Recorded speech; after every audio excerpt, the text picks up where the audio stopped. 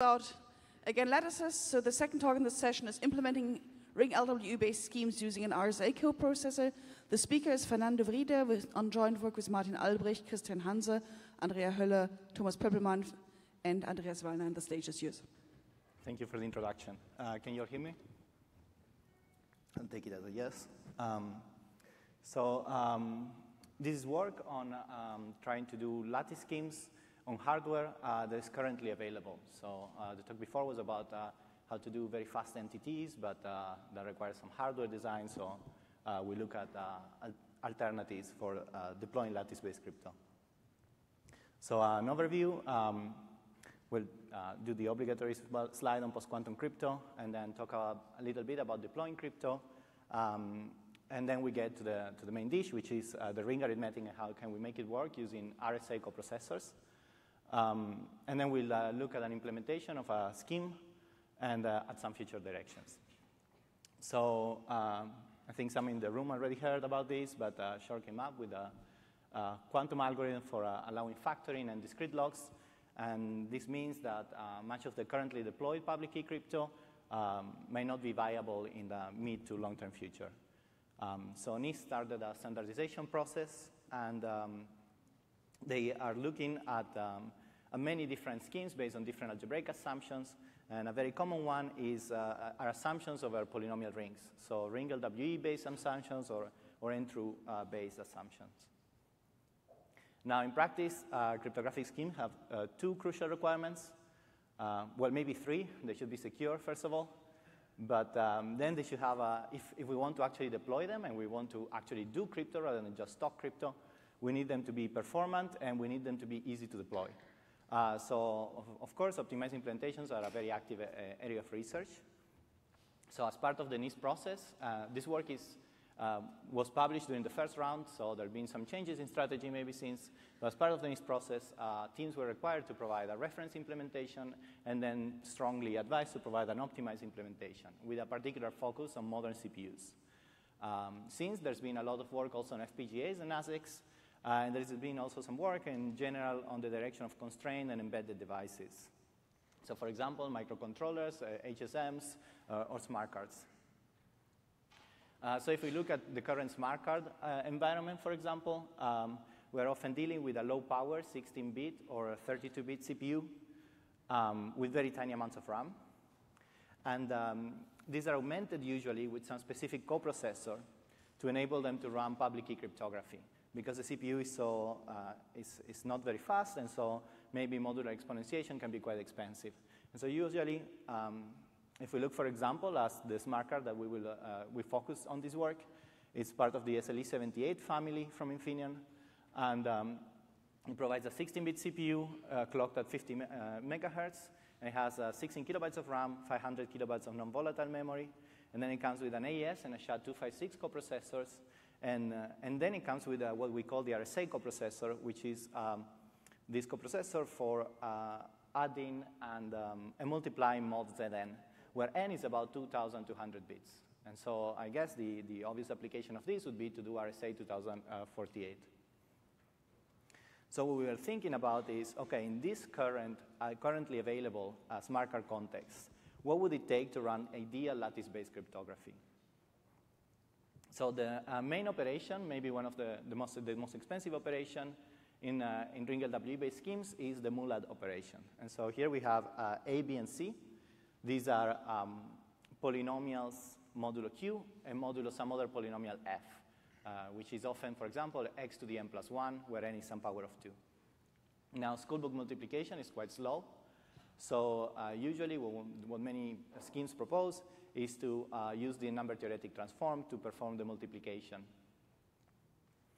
In the embedded hardware system, there's been a lot of work to design um, coprocessors for ring LWE, and often a central component is a design for this uh, NTT on hardware directly, so that one can provide a sort of NTT coprocessor. Uh, the issue with this is that uh, new hardware design requires uh, implementing and testing and certifying across countries and then deploying. And only recently, for example, we started having uh, ECC crypto on smart cards. And so the idea of uh, having post-quantum crypto on smart cards might seem a little bit far in the future. And also there is the issue that since the competition is still going to run for a few years, most likely. There is no obvious candidate that is going to be what gets actually deployed. And so there might be some lack of incentive for companies producing smart card chips to actually start doing all this process when maybe they come out that they have the, the wrong size uh, hardware coprocessor. So our approach, our alternative approach is the following. We try to build a flexible MULAD um, coprocessor or gadget by reusing the RSA coprocessor that is already available on this smart card. And we demonstrated by taking uh, Kyber as it was parameterized in the first round. There were some changes since. And um, we make a variant of Kyber CCA. Uh, we'll see how it differs. Um, first of all, it doesn't use the NTT, and so uh, there are some, some incompatibilities in, in API. Um, and we run it on this SLE78 platform. And we argue that we run it in a viable way so that uh, this technique could be a possible way of transitioning into uh, post-quantum crypto while the new hardware coprocessors are still being designed. The main ingredient of all of this is the uh, Kronecker substitution technique. So it's a classic technique in, uh, in computer algebra for reducing uh, integer polynomials with uh, multiplication of polynomials with integer coefficients to just plain integer multiplication. And uh, so to scare everybody with some maths, uh, we have two columns here that are running more or less the same operation. So say on the left we have a times b, and there are two polynomials, and so we can just have compute a times b by, for example, schoolbook multiplication. And then on the right, we take a and b, and we evaluate it at 100. And so we get two integers, 102 and 304, and we just multiply these two integers, we get 32,008, and then we write the result in base 100. And uh, what we can notice is that uh, the coefficients here in base 100 translate to the coefficients from the resulting polynomial. And the reason this works is because 100 is a large enough number that when we start multiplying uh, in schoolbook manner, so 4 times 2, 4 times x, etc., is the same as multiplying the two integers. And uh, the possible carries of integer multiplication are going to be uh, small enough that they won't, they won't overflow from one digit to the other. And this can be also done with uh, sign coefficients, and this can also be done in, a, in with uh, smaller integers. Uh, there are a few techniques that we use, and we discuss more in detail in the paper, uh, but they're a bit tricky for a presentation, maybe. Now, this also works, this technique, with modular reductions modulo f. So here we have A, which has been relabeled to be the result of the previous operation, is uh, quadratic. And we have F, our cyclotomic polynomial, x to the n plus 1. And we want to reduce A mod F. And so what we're doing really is we're taking an appropriate multiple of F and removing it so that the highest uh, power of the resulting polynomial is less than the degree of F. And now if instead we're to evaluate on the right A and F on a 100, and then we were to reduce A mod f as an, just a classical integer modular reduction. What we're doing there is also we're trying to remove some multiple of big F, which is 100 squared plus 1, such that the result is smaller than F. And this can be seen also like as a parallel operation between, between the two techniques, and we can see that actually the result is 1005, which is just uh, 10x plus 5 if we write it out in base 100. So now that we have these two techniques, uh, we can try to combine them, and, uh, and so we can use them to compute the MULAD operation. So we have A times B plus C as polynomials, mod Q and mod F, and uh, we can choose T, some base that is large enough, and we're going to choose a power of 2 for efficiency reasons, of course. And then we can compute A and B and C, we can evaluate them at T, and we can also evaluate F at T, and then do the operation over the integers directly. Do A times B plus C mod F over the integers. Um, and then uh, what we can do is, well, okay, then this is more or less like working on Z of f of t using the RSA coprocessor. So if before we had big N as the RSA modulo, now we're just using f of t. Uh, this is going to result in a polynomial that is equivalent mod q to our result when we, once we unpack all the coefficients. And, um, and so, yes, after we do this operation, there's still going to be some modular reductions to do on each, on each coefficient of the resulting polynomial.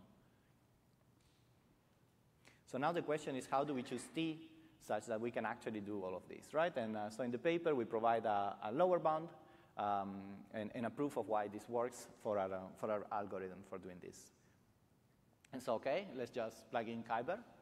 Uh, we have um, polynomials of degree 256 and uh, some other properties of the scheme, again, as presented in round one. Uh, and it comes out that t should be 2 to the L and L should be larger than 24.5. And so we just choose, for example, 25. Okay, cool. Uh, so it seems like we're done. Okay, so what's going to be the modulo that we have? Oh, it's log 2 of f of t. It's going to be 6,400 bits long, more or less. Now we have a problem. Our coprocessor on this smart card was for RS, more or less designed for RSA 2048, and in particular doesn't take uh, integers that are longer than 2,200 bits. So it seems that uh, Kronecker substitution alone would, won't cut it. Um, but luckily, we can maybe try to interpolate. So we went from full polynomial multiplications to full integer multiplication. But maybe there is somewhere in the middle. Um, and indeed, this, this idea has been explored before by, for example, Schönhage and Nussbaumer. And uh, there's been multiple tricks in the literature similar to this. And so the idea is the following. Say that we have here a polynomial of degree less than 6 and we have, um, we can split it sort of into the even powers and the odd powers. And the odd powers are sort of shifted, shifted by an x. And then we add this uh, dummy variable y, which is, uh, stands in for x squared. And so what we have is a0 plus a2x squared, but it becomes a y, and so on. And here a1 times x, and a3 times y, x squared times x, and so on. So we can sort of write the same polynomial in this way. And now um, what we can do is we can use Kronecker substitution on these y polynomials that are smaller, of a smaller degree, but I'll have many of the same properties of the polynomial before. And this might fit actually in the coprocessor. And then we can just uh, have a low degree polynomial in X with large coefficients, and we can use, for example, uh, a Karatsuba, or we could use a schoolbook, or we could use Toom-Cook, or some other uh, efficient um, polynomial multiplication technique um, to, to run the operation. And then at the end, there's going to be some tidying up to do at, at, the end of this operation that we describe in the paper, uh, but it's just fiddling a little bit with some extra uh, modular reductions, but nothing, nothing too, too worrying. And so in this case, case, for example, using this technique, what we can do is we can take the polynomials uh, to the 256 for Kyber and sort of reduce our operations to multiplications of polynomials uh, of degree 64 in Y um, and degree 5 in X uh, using Karatsuba. So we did all this work, and we had this sort of flexible MULAD um, gadget because we could also use it. Like we can sort of split and interpolate and see different strategies. Is it worth it? Um, so round one Kyber makes use of Keccak for uh, many of its pseudo-random functions, for the random oracles in the CCA transform, and so on. And uh, the SLE78 doesn't currently have a Keccak hardware coprocessor. And so using Keccak in software is extremely slow and is actually uh, would make this completely useless. So what we did is we circumvented this problem by defining all random functions based on the AES and the SHA-256 coprocessor, um, and then use those instead. And we noticed that in round two, uh, Kyber indeed introduced a new variant called Kyber 90s that more or less does something similar and tries to uh, use this uh, AES and, and SHA-256 as origin for the random oracles in order to make uh, uh speed measurements and not depend on the SHA-3 implementations. So here are some numbers. Uh, the table is much larger and much scarier on the paper. Uh, but here what we're looking at are implementations only on the same SLE platform to make comparison as easy as possible. The first two lines are our work, so this is the Kyber CPA encryption scheme that is uh, used to construct the CCA KEM. And we have timings for, uh, inside, well, we have cycles for key generation, encryption, and decryption.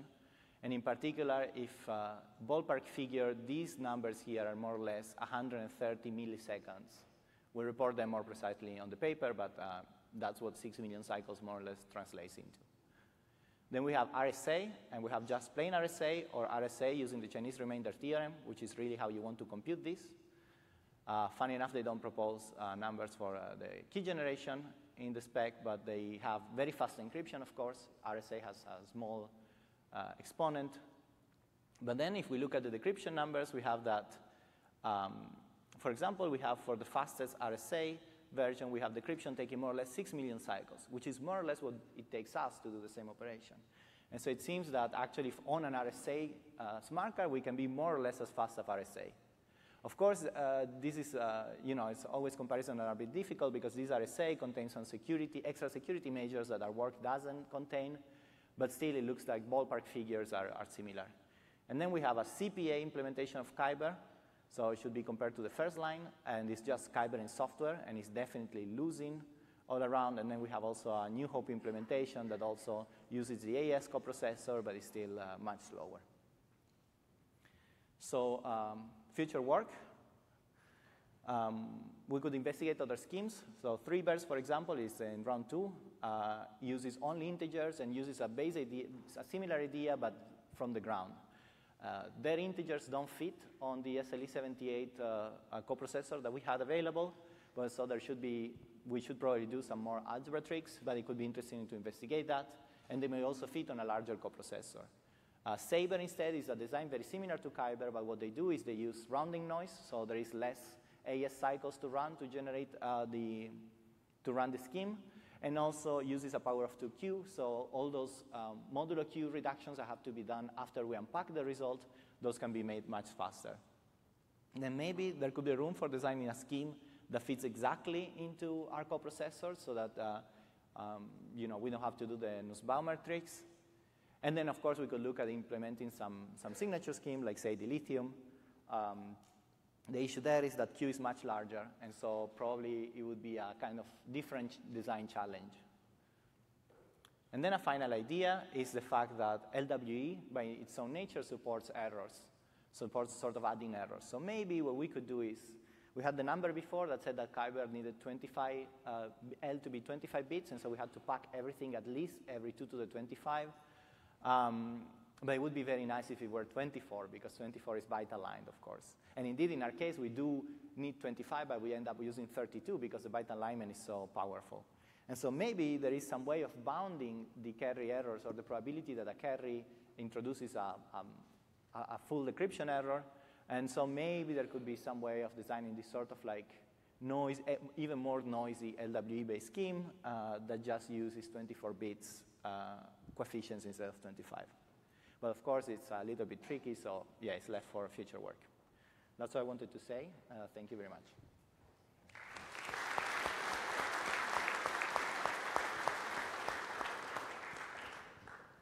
Thank you. Are there any questions?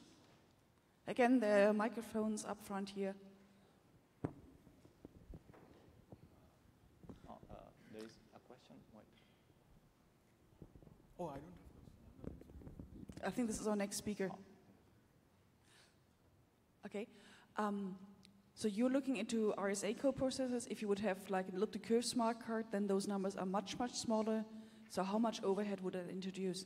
I mean, you you kind of bouncing between the different representation. You would have much more of the Nussbaumer.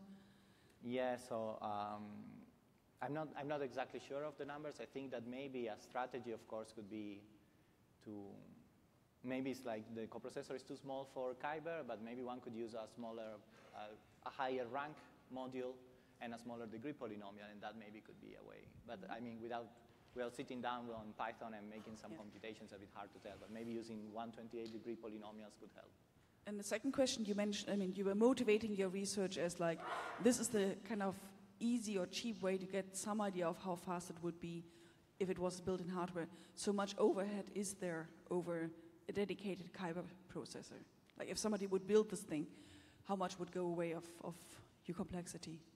I mean, certainly it would be slower than having a proper NTT coprocessor, no question. I think mm-hmm. it's rather, the point is rather currently without having to redesign the hardware, just having similar, we compare to current cryptography and say like, okay, well, we could be much faster probably with an NTT coprocessor, but we could also be not much slower than with a, that RSA on the RSA smart card. So it's rather like for the transition period than for the long term as a solution. All right. There are no further questions, and please join me in thanking the speaker again.